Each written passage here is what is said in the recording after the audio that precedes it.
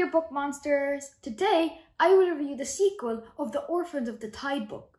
The second one is called Shipwreck Island. It is written by Struan Murray. It was released only a few months ago and I've been dying to read it. I reviewed Orphans of the Tide quite a while ago, so if you want to check it out after this video, the link will be in the description. Also, if you haven't already, be sure to hit those like and subscribe buttons and turn on notifications as well so you will be notified whenever we upload. That's my, uh, my cat Fern, by the way, meowing.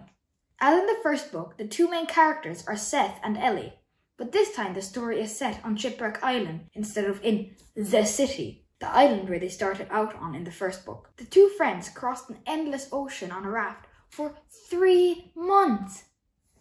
When Ellie and Seth finally arrive, they both look for work. Seth instantly gets a job, but Ellie is having trouble finding one. But when she saved someone from a collapsing mine, she finally gets to meet the mysterious queen of the island. Ellie and the queen end up becoming great friends. Is Shipwreck Island the place where no one knows about the enemy? Just as Ellie and Seth start to settle in, things start to go downhill. Crops are not growing, which means the island is running out of food. Ellie and Seth and their new friends are faced with new problems. Will they be able to save the island? Well, that's for you to find out. Yeah, oof.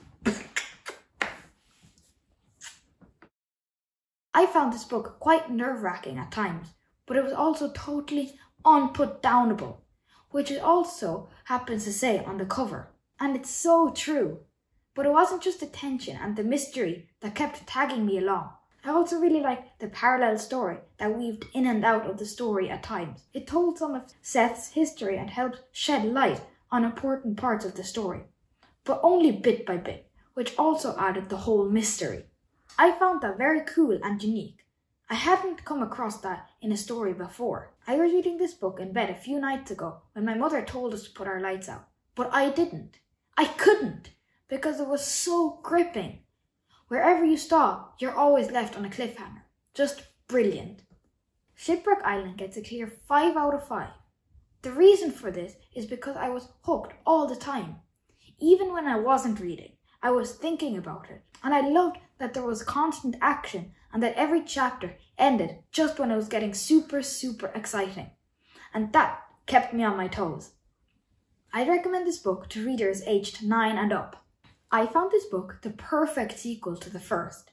It literally picked right up from where the first one left off. I haven't heard if there's going to be a third book yet, but the story isn't over, so I'm guessing there is going to be at least another book in the series. At least I really hope so. I'd love to read more about Ellie and Seth's adventures, but it probably won't be until 2022, as Shipwreck Island only just got released in March 2021. One thing I also have to mention are that there are a few pictures in the book. There aren't many, but there are a few. And I find that they are very well drawn, all of them. And I really like that because I don't see many pictures in more grown up books. Another thing I have to mention is that uh, is the cover.